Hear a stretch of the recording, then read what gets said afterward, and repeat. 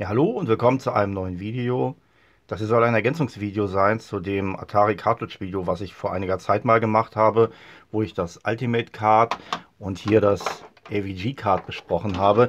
Ich gehe auf die beiden nicht mehr groß ein jetzt, aber ich erkläre kurz nochmal, was es ist. Und in diesem Video soll es eigentlich gehen um das A8 Pico Card oder A8 Pico Card. Das ist dieses hier oder das ist eine Variante davon, sagen wir mal. Und ich erkläre kurz, was das ist und zeige das kurz. Das wird kein sehr langes Video, aber das Ding ist im Moment relativ ja, beliebt, weil es relativ neu raus ist und ich wollte es einfach mal kurz vorstellen damit man mal einen Überblick hat, auch im Vergleich zu den anderen Dingern, was das eigentlich ist und was das kann und wo die Vorteile und vielleicht auch die Nachteile sind. Genau, dann kurz vielleicht, nehmen wir das nochmal zur Seite, nehmen wir mal auf diese beiden nochmal ein. Wie gesagt, da gibt es dieses extra Video zu, was ich unten verlinke, aber ich mache es hier auch nochmal kurz. Also das sind so Cartridge-Lösungen für den Atari.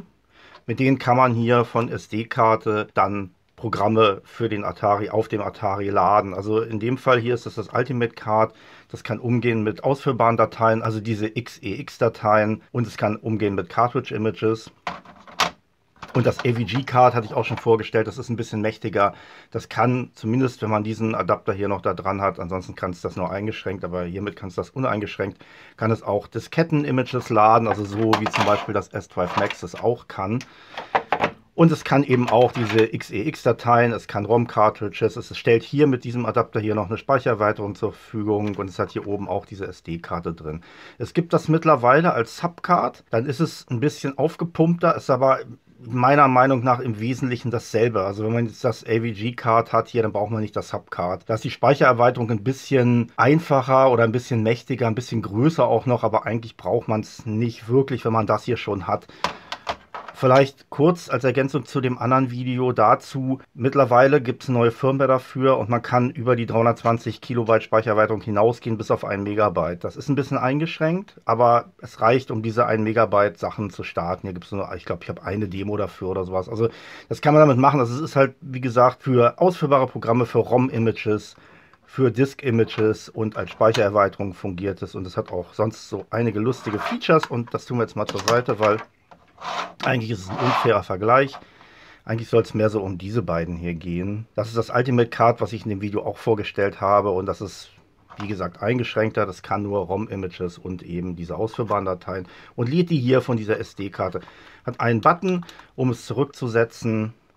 Und das ist die ganze Pracht an dem Ding. Ich bin nicht sicher, ob man das noch käuflich erwerben kann im Moment. Das ist hier schon ein bisschen älter. Ich glaube, das ist 2017 an sich erschienen, dieses Teil. Aber Gebrauch kriegt man sicherlich noch irgendwo her. Ja, und neu ist halt dieses A8 Pico oder A8 Pico. Und was das ist, ist, man kann es hier unten so ein bisschen sehen, das ist ein Open Source Projekt zum einen, also das kann man hier jetzt nicht sehen, aber es ist ein Open Source Projekt und man kann sich das selber bauen. Ich habe mir das jetzt an der Stelle hier nicht selber gebaut, weil ich ehrlich gesagt zu faul war und lieber das Geld für ein fertiges Ding bezahlt Aber Es hat, glaube ich, so ja, 35 Euro oder sowas gekostet mit Gehäuse und allem drum und dran. Aber man kann sich wie gesagt, auch selber bauen. Dann muss man sich diese Platine hier irgendwo herstellen lassen und dann kommt da, wie der Name schon vermuten lässt, kann man das sehen. Ja, da ist der USB-C-Port, da ist ein Raspberry Pi Pico drauf, beziehungsweise ist es nicht, das ist ein Raspberry Pi Pico Clone, komme ich gleich nochmal drauf, warum das relevant ist, aber im Wesentlichen ist es das. Also es ist kein sehr komplexer Aufbau, und der Pico ist günstig, beziehungsweise dieser Klon ist günstig. Die Platinen kann man sich in China machen lassen, das ist auch nicht so teuer. Gehäuse muss man sich irgendwie drucken oder man lässt es bleiben. Es ist, sicherlich kriegt man das für weniger als die 30 Euro hin, die ich jetzt bezahlt habe, aber dann hat man eben den Bastelaufwand oder den Bastelspaß, je nachdem, wie man es sehen will. Genau, das ist das Ding. Also hier, wie gesagt, ich weiß gar nicht, auf was das basiert, aber jedenfalls kein Raspberry Pico. Und, und das ist jetzt das neue Ding hier mit dem Raspberry Pi Pico drin, beziehungsweise mit dem Clone. Ansonsten sehr ähnlich. Man hat hier diesen Button, der hat genau die gleiche Funktion wie hier, nämlich ins Menü zurückzugehen. Ich zeige das Ding nachher nochmal im Einsatz, dann wird man es kurz sehen. Manche von denen haben hier unten auch noch einen Button. Ja, oder je nachdem, wo sie den hingelegt haben. Das ist der vom Raspberry Pi Pico. Äh, damit kann man den quasi in so eine Art Update-Modus versetzen und kann dann die Firmware aktualisieren. Das hat der hier nicht. Das müsste man jetzt auseinandernehmen hier, um das dann zu machen. Aber ist, glaube ich, auch nicht nötig eigentlich. Die Firmware ist da ja drauf und läuft soweit. So, aber wenn man jetzt aufmerksam guckt, ich meine, das, das hier der 3D-Druck, das sind beides 3D-gedruckte Gehäuse. Der ist sehr ähnlich. Hier sind Schrauben hier nicht, aber ansonsten, ja, da hat man hier zumindest in diesen Varianten das sehr ähnlich gehalten. Das ist ziemlich das gleiche mit ein bisschen Atari hier drauf und hier nicht, aber sei es drum. Aber dem aufmerksamen Betrachter wird auffallen, der hier hat SD-Karte. Das hat das Average Card ja auch. Aber das hier nicht. Ja, wo kriegt das seine Programme her? Naja, das kriegt die direkt aus dem Flash-Speicher des Pico. Und den erreicht man über diesen USB-C-Port da unten. Je nachdem, welche Variante man baut, das hier ist, glaube ich, die, die es auf GitHub gibt. Ich verlinke auch das Projekt unten. Sitzt der mal hier oder er sitzt auch ein bisschen woanders, aber ja, hier sitzt er halt hier, da muss man mit dem USB-C-Stecker rein und kann dann die Programme direkt auf den Pico spielen. Und da sind wir dann auch bei der Geschichte mit dem Pico-Clone.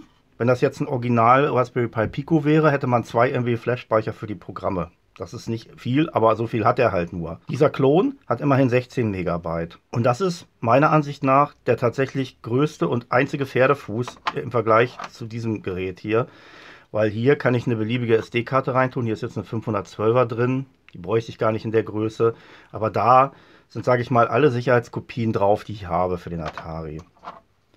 Hier nicht, weil mit den 16 MB kriege ich die da nicht drauf. Also ich habe so Ordner, wo die reinsortiert sind. Und damit kriege ich A, B und C hier drauf. Der Rest vom Alphabet passt nicht mehr. Der würde auf eine SD-Karte passen, aber ist hier eben nicht. Man hat nur das, was der Pico an Speicher zur Verfügung stellt. Und das ist eigentlich, würde ich sagen, der einzige Nachteil gegenüber dem Ultimate Card. Ansonsten ist es sehr ähnlich. Ich stecke das jetzt mal rein und dann zeigen wir es mal. Meine Atari erstmal aus.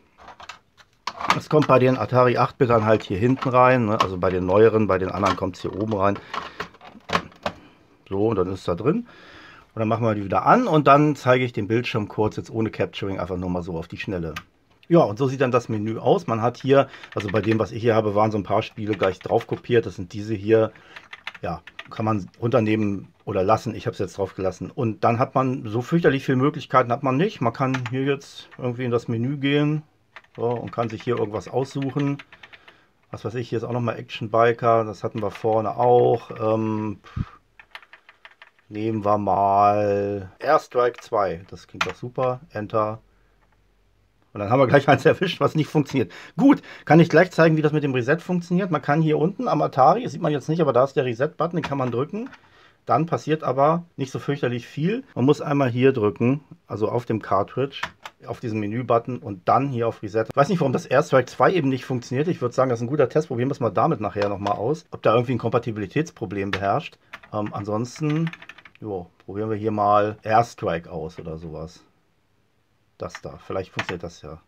Nö, das funktioniert auch nicht. Gut, vielleicht braucht er irgendwie irgendwas anderes. Keine Ahnung, nehmen wir irgendwas von C und machen wir hier California Gold. Gut, aber das funktioniert. Was ist das? Ein Text-Adventure. Da habe ich natürlich jetzt ausgerechnet das Spannendste erwischt. Also wieder hier Button auf dem Cartridge. Dann sieht das kurzzeitig so aus. Dann Reset. Dann sieht das wieder so aus. Jetzt nehmen wir mal irgendwas, was irgendwie nicht so blöde ist. Ballblaster vielleicht. Ah, okay, gut, das ist das Ding. Ja, naja, gut. Aber man sieht, es funktioniert im Normalfall. Ja, und das ist auch schon der ganze Zauber. Das ist das, was es macht. Das ist das, wofür es ist. Und man kann hier noch suchen, das ist ganz nett. Also, wenn wir jetzt hier, was weiß ich, Ball dann findet er halt alles mit Ball. Das ist ein ganz cooles Feature, finde ich. Ich glaube, das hat das ähm, Ultimate Card nicht, soweit ich weiß. Das ist ganz cool, weil gerade wenn man jetzt viele ähm, Programme da drauf hat, so wie ich das normalerweise habe, dann ist das ja ein Problem, die zu finden, auch wenn die in Ordnern sind. Äh, hier, wie gesagt, eingeschränkt durch die 16 Megabyte kann man gar nicht so viele Programme drauf machen, wie ich gerne würde. Genau, und dann haben wir hier Crazy Ball, was auch immer das ist. Ja, das ist das. Und das ist es im Prinzip. Dann würde ich sagen, probieren wir hier noch mal kurz, zeige ich das noch mal, hat man das auch mal im Vergleich gesehen und gucken wir, ob man da Airstrike starten kann. Also das Ding wieder raus, das Ding rein und da haben wir das Ultimate Card. Das sieht so aus. Kann man hier suchen? Ne, ich glaube, hier kann man tatsächlich nicht suchen. Okay, gut, aber man sieht halt, man hat hier wesentlich mehr drauf. Also noch sieht man es nicht, aber hier sieht man es halt, hier ist das ganze Alphabet drin. Und dann gucken wir mal nach Airstrike. Nehmen wir hier Airstrike 2. Nö, funktioniert auch nicht. Okay, gut. Wahrscheinlich ähm, muss man dafür das Basic abschalten bei dem Ding oder sowas. Ansonsten ist es hier genau wie bei dem anderen. Man drückt diese Menütaste, drückt auf Reset und ist wieder im Menü. Ja, so sieht das Ultimate Card aus. Dann schalte ich kurz zurück auf den Atari und dann kommen wir zu einem kurzen Fazit. Gut, und da ist der Atari wieder. Das Average Cartridge ist wieder drin, weil das einfach meine bevorzugte Lösung ist, weil sie am meisten kann. Aber nichtsdestotrotz, um die hier soll es gehen, beziehungsweise um das hier. Ja, das ist das A8 Pico oder A8 Pico Cartridge. Es ist günstig. Wenn man sich selber baut, ist es auf jeden Fall noch günstiger. Ansonsten finde ich jetzt die 35 Euro für das fertig zusammengebaute Ding hier auch nicht gerade übermäßig teuer für das, was es ist. Das ist eben ein Vorteil. Ein weiterer Vorteil finde ich tatsächlich ist diese Suchfunktion. Das finde ich eine coole Lösung. Das habe ich bisher bei keinem dieser Dinger bisher gesehen, dass man darin suchen kann. Das ging auch relativ schnell. Ja, also Preis und äh, die Funktionalität mit dem Suchen finde ich gut. Wie gesagt, Disk Images kann es nicht, aber das kann das auch nicht. Also von daher ist das ähm, bei beiden eine Einschränkung, die sie halt haben. Wenn man das anders haben will, braucht man eben sowas oder das Subcard oder eben so ein S12 Max oder sowas. Ansonsten Nachteile sind für mich tatsächlich dieser 16 Megabyte Speicher. Das finde ich ein bisschen dürftig, weil ich eben die Tendenz habe, alles auf diese Dinger zu kloppen, was geht. Wer das nicht macht und da eine kuratierte Liste hat, wo er sagt, das sind die Sachen, die ich spiele, Rest interessiert mich nicht, für den ist es egal. Also das muss jeder selber entscheiden. Ich bin da faul und kopiere einfach alles drauf, dann habe ich es zur Verfügung. Und gerade mit der Suchfunktion ist es dann ja eigentlich super praktisch. Aber hier, ja, wie gesagt, reicht es nur für ABC und hier reicht es fürs ganze Alphabet und das sogar zweimal. Ich habe zwei verschiedene Varianten da drauf, ähm, von zwei verschiedenen Packages irgendwie, wo die Sachen gesammelt waren. Ein weiterer Nachteil von dem Teil ist eben, dass es keine SD-Karte hat. Jetzt unabhängig davon, wie viel Speicherplatz es zur Verfügung stellt, heißt das ja, man muss es, wenn man irgendwas ändern will, immer rausziehen und hier den USB-Stecker reinstecken. Da passt auch nicht jeder. Also diese gewinkelten zum Beispiel gehen nicht, weil die ja einfach hier von, von der Ausrichtung her nicht passen, müssen so gerade sein. Und muss das dann da drauf kopieren, wo man hier einfach nur die SD-Karte ja, rausnimmt, neu bespielt oder gegebenenfalls einfach wechselt. Also das ist von der Handhabung ein bisschen praktischer. Ist jetzt hier nicht so relevant tatsächlich, weil auf der SD-Karte ja alles drauf ist, was ich haben will. Ähm, hier wäre es eher relevant, dass man dann sagt, okay, ich will jetzt irgendwas anderes drauf haben, muss man das Ding rausnehmen, gegebenenfalls zum PC damit wackeln, USB-Kabel rein, hin und her kopieren, wieder zum Atari gehen und wieder reinstecken. Das ist auch ein Nachteil. Also, ob es jetzt individuell ein Nachteil ist, muss jeder selbst entscheiden, aber an sich global galaktisch gesehen, würde ich sagen, kann man es als Nachteil gelten lassen. Ja, ansonsten ist es eine coole Sache. Wollte ich einfach nur mal vorstellen, wer sich dafür interessiert. Für den ist das vielleicht eine kostengünstige und nette Lösung äh, für den Atari 8-Bitter, da irgendwie Software drauf zu kriegen. Gut, das soll es an der Stelle gewesen sein. Wie gesagt, das Video zu den anderen beiden, das verlinke ich unten nochmal. Und ansonsten sage ich Tschüss und bis zum nächsten Mal.